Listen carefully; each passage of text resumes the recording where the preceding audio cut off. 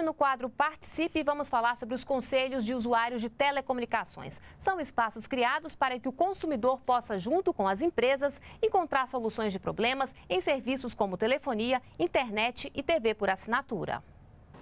Muitos consumidores têm reclamações sobre a qualidade dos serviços prestados pelas operadoras de telefonia, internet e TV por assinatura. O celular, então, só dá é, é, fora de área. O sinal cai muito de celular, qualquer marca, eu tenho todas as operadoras. São um contrato é, feito por telefone, a gente não assina, na hora de reclamar a gente não tem como reclamar. E para ajudar o consumidor a resolver problemas como esses, vão ser criados os conselhos de usuários. A ideia é dar mais força e participação para o consumidor, que vai poder acompanhar e debater essas questões junto com as operadoras. O conselho de usuários é um espaço para que o próprio consumidor, usuário de serviços de telecomunicações, possa debater junto à operadora os problemas do dia a dia que ele enfrenta nos serviços de telecomunicações. Os conselhos vão comunicar à Anatel os resultados e as providências tomadas para a resolução dos problemas. O consumidor de telecomunicações poderá participar de uma forma mais ativa do debate sobre os problemas que aquela operadora tem que enfrentar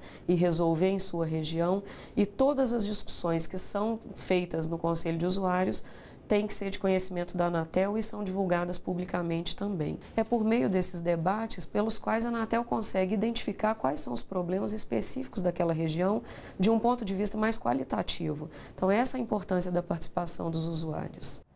Qualquer usuário de serviços de telecomunicações pode participar dos conselhos. Para se inscrever, é só acessar até o dia 18 de abril a página da Anatel.